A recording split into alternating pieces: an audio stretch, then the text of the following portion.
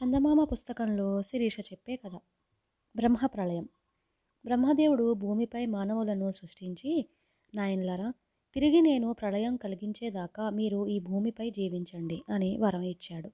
దేవా తిరిగి ప్రళయం ఎప్పుడు వస్తుందో మాకు తెలిసినట్టయితే మేము భూమిపై చేయదగిన కార్యాలను నిర్ణయించుకుంటాం అన్నారు మానవులు. ప్రళయం ఎంతకాలానికి జరిగేది? మీకు తెలిసేందుకు నేను ఒక ఏర్పాటు చేస్తాను అంటూ బ్రహ్మదేవుడు ఒకచోట మూడు కర్రలు పాతాడు. మొదటి కర్రకు అరవై నాలుగు వలయాలు అమర్చాడు. అట్టడుగున ఉన్న వలయం అన్నిటికన్నా పెద్దది. దానిపైది కొంచెం చిన్నది. దానిపైది ఇంకా కొంచెం చిన్నది. అన్ని వలయాలకు పైన ఉన్నది అన్నిటికంటా చిన్నది. తర్వాత బ్రహ్మదేవుడు ముగ్గురిని పిలిచి మీరు బ్రహ్మప్రలయం దాకా జీవించే వరం ఇస్తున్నాను. మీ పని ఏమిటంటే ఈ వలయాలన్నిటినీ ఇదే క్రమంలో మూడవ కర్రకు అమర్చాలి. పెద్ద వలయం మీద చిన్న వలయం ఉండవచ్చునే కానీ చిన్నదాని మీద పెద్ద వలయం ఉంచరాదు. రెండవ కర్రను తాత్కాలికంగా వలయాలు ఉంచటానికి మాత్రమే ఉపయోగించాలి. మీరు ముగ్గురు వంతులు వేసుకొని ఈ పని సాగించండి. ఈ ఇరవై నాలుగు వలయాలు మూడు కర్రకు ఇదే క్రమంలో అమర్చిన క్షణాన ప్రళయం వస్తుంది అన్నారు. మరుక్షణం బ్రహ్మ అంతార్థమైపోయాడు అప్పుడు బ్రహ్మ నియమించిన వారిలో మొదటివాడు బ్రహ్మ చెప్పినట్లు చేయసాగాడు. అతడు అన్నిటికంటే చిన్నదైన మొదటి వలయాన్ని తీసి రెండవ కర్రకు తగిలించి దానికంటే పెద్దదైన రెండో వలయాన్ని మూడో కర్రకు తగిలించి దానిపై మొదటి వలయాన్ని పెట్టాడు.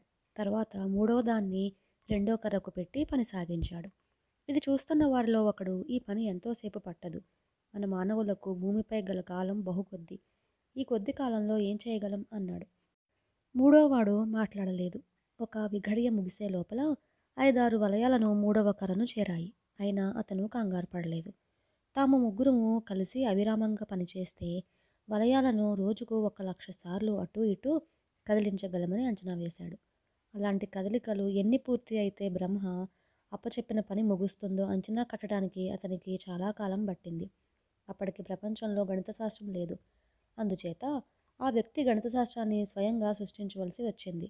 ఆ శాస్త్రం సహాయంతో అతను ఈ వలయాలను కొన్ని కోట్ల కోట్ల కోట్ల కోట్ల సంవత్సరాలు మార్చితే గాని అవి మొదటి కర్ర నుంచి మూడవ కర్రకు మారవని నిర్ధారణ చేశాడు. రోజుకు లక్ష మార్పుల చొప్పున వీటిని పూర్తి చేయటానికి దాదాపు యాభై వేల కోట్ల సంవత్సరాలు పడుతుందని గ్రహించాడు. అతను తన అనుచరులతో సోదరులారా ఇక ఈ పని మనం మానవచ్చు. ఎందుచేతనంటే ఇంకా యాభై వేల కోట్ల ఏళ్ళ దాకా బ్రహ్మప్రళయం రాదు.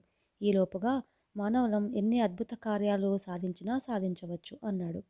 అతను గుణించిన లెక్కలను మిగిలిన ఇద్దరు కూడా అర్థం చేసుకుని గణిత శాస్త్రంలో ప్రావీణ్యులయ్యారు.